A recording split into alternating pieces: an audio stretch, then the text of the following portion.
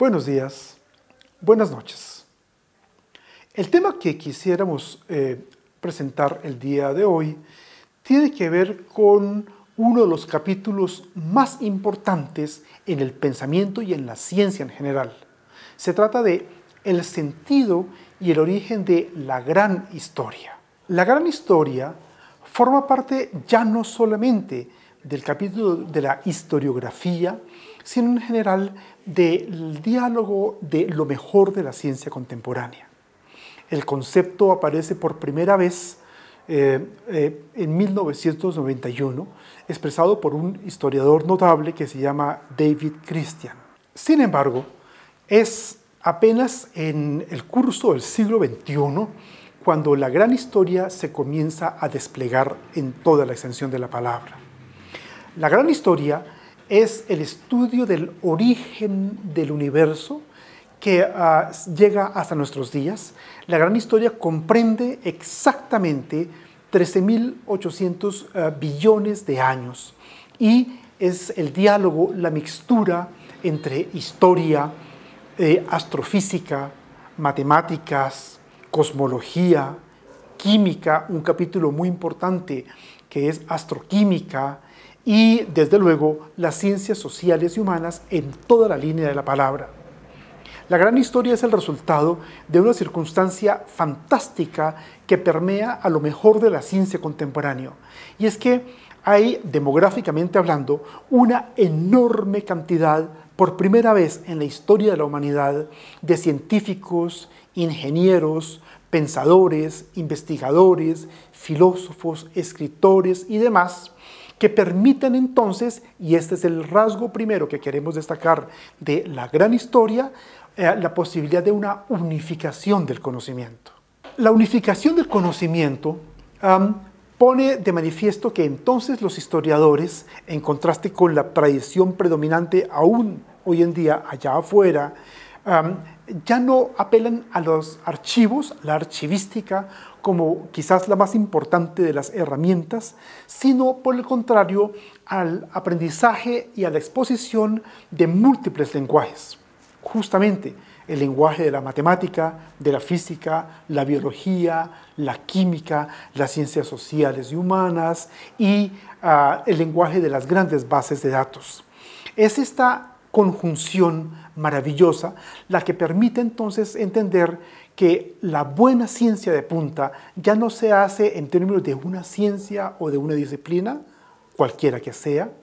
La buena investigación de punta, las buenas explicaciones y comprensiones del mundo hoy en día implican el diálogo, la puesta en común, el cruce, la capacidad de asimilación de ciencias y disciplinas que anteriormente estaban separadas divididas. Asistimos entonces de la transición muy significativa de las historias nacionales a la historia universal e incluso de la historia universal a la importancia, nunca hay que menoscabarlo, de la microhistoria para, por el contrario, entender que la historia del universo y la historia humana es un solo y mismo capítulo. La gran historia comienza con el origen de este universo, la casa de todos nosotros, que se conoce como el Big Bang, y los procesos que a lo largo de 13.800 billones de años va conduciendo gradualmente a la formación del universo, la formación de la galaxia, el sistema planetario, la Tierra, todos los ah, ah, avatares fantásticos sobre el origen de la vida en la Tierra, el Sol que tiene 5 mil millones de años, la Tierra que tiene 4.500 millones de años, la vida que aparece hace 3.800 millones de años, hasta llegar a este capítulo apasionante que es la historia humana, que es imposible de separar de tantos otros elementos que justamente son puestos por un diálogo maravilloso de ciencias y disciplinas. La historia, es decir, la historia humana, es lo que acontece cuando la naturaleza lo permite. Por ejemplo, cuando no hay meteoritos que caen en el planeta, que fue una de las circunstancias gracias a las cuales aparecimos los homínidos hace una fracción de segundo en términos de tiempo geológico.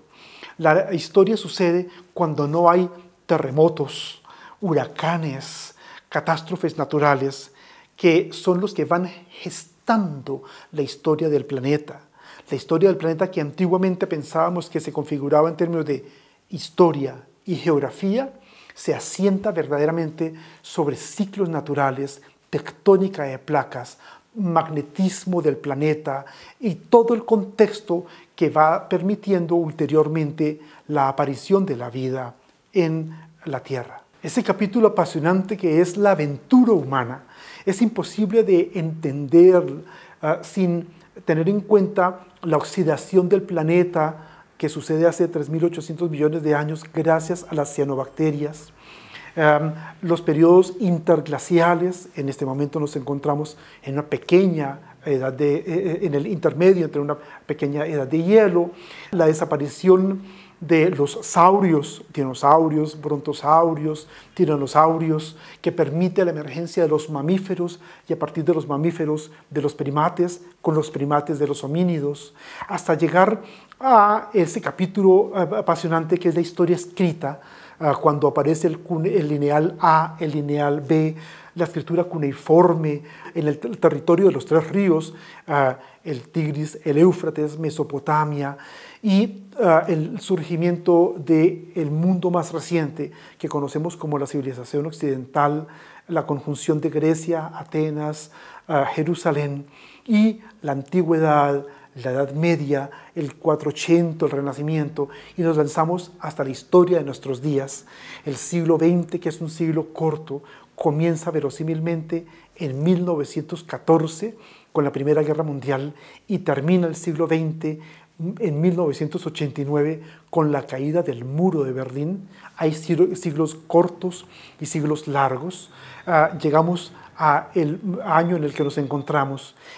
toda esta serie de fenómenos apasionantes, las historias locales, regionales, nacionales, continentales, no pueden en manera alguna ser entendidos sin la importancia del clima, de la meteorología, de uh, la uh, dinámica de los continentes y, repito, la formación de los elementos químicos más importantes en el fondo de las estrellas. La hemoglobina que recorre las venas de todos nosotros es hierro y ese hierro se gesta en las eh, estrellas. La, aventura humana es una sola con la aventura del universo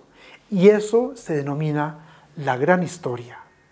Ulteriormente, los seres humanos no somos posibles sin las colonias bacteriales, la importancia del microbioma, sin los virus, los hongos, los parásitos, esos elementos que han venido configurando a la historia del planeta. La historia humana es una sola con la historia en general del universo. La gran historia, un capítulo reciente, apasionante de diálogo entre ciencias, saberes, disciplinas. A ustedes por su atención, muchas gracias. Buenos días, buenas noches.